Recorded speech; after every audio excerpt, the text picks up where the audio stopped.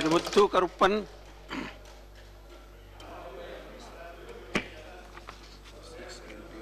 Honorable Vice Chairman, sir, I am thankful to my leader, Dr. Puratchi Thalaivi Amma, and also to you for giving me the opportunity to discuss the Regional Rural Banks Amendment Bill of 2014. I would like to make certain suggestions regarding this bill. The regional rural banks were established with a view to develop the rural economy and to create a supplementary channel to the cooperative credit structures to enlarge the institutional credit for the rural and agricultural sector. The regional rural banks accepts deposits primarily from rural, semi and urban areas and provide loans and advances mostly to small and marginal farmers, agricultural laborers, rural artisans and other segments of priority sector. In the statement of objects and reasons, the Honorable Finance Minister has mentioned about the need to amendment the Regional Rural Banks Act of 1976 to strengthen the regional rural banks' capital base and improve their overall capacities. Sir, my first point is the financial assistance by the sponsoring banks beyond five years of setup of RRBs is understandable. But managerial assistance beyond five years of setup means control of the RRBs through the higher echelons of managers of regional rural banks appointed from the sponsoring banks. Sir, instead of managerial assistance from the sponsoring bank, the apex body of RRBs can have a pool of experienced executives who can be debited to the RRBs. Again, sir, here I would like to inform that as per the Ministry of Finance, instructions of branch level staff and officers of regional rural banks from 2012 to 2013 onwards are done through a common written examination conducted by Institute of Banking Personnel Selection, similar to the procedure followed in public sector banks.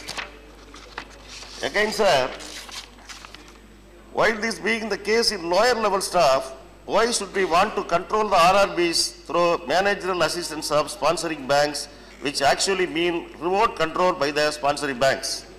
My another point is, sir, capital norms raising the authorized capital of rupees 2000 crores with minimum fixed capital at rupees 1 crore and also fixing the minimum issued capital rupees 1 crore. This is a good proposal as the quantum of capital required for the operational requirement of RRBs in their enhanced working capacities is huge. I no doubt that increased capital for RRBs means increased rural credit dispersal. I fully support this move, sir. The another important point is sharing, share, shareholding pattern, sir. Allowing RRBs to raise their capital sources other than the central and state governments and sponsoring banks with a caveat that in such a case, the combined shareholding of the central government and the sponsoring bank cannot be less than 51 percent. Additionally, if the shareholding of the state government in RRB is reduced below 15 percent, the central government would have to consult the concerned state government. My opinion is against this. Further, sir, the state governments already hold on 15% share and that need not to be allowed to be reduced. My leader, Honorable Amma, always stressed that shareholding pattern of public sector institutions should never be allowed to be diluted detrimental to the interest of the common poor.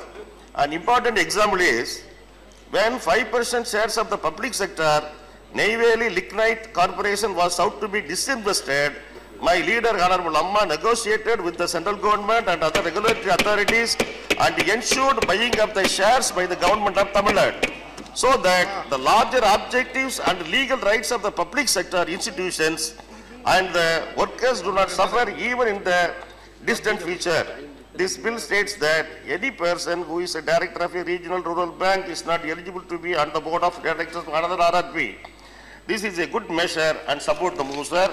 Another thing, sir, another proposal in the amendment bill is enabling the central government to appoint an officer of the central government to the board of directors to ensure effective, functioning of the RRB, considering the field level hands on and experience of state government officials the proposal should be enabling appointment of officer to the board of, from the central government or the state government to board And if such appointment is made from the central government, the state government should also be consulted and only after the concurrence of the state government, such appointments should be made. Another point, I am making this point very specific because at no point of time, any attempt should be made to remote control any RRB in the wheel of appointment of an officer of the central government. The suggestions of- suggestions of Reserve Bank of India, the Reserve Bank of India has mandated that all new banks will have to open 25% of their branches in unbanked rural areas. Existing banks are also pushed to open more branches in rural centers. The rural India has only 36 branches for every 10 lakh people compared with over 100 branches in urban areas.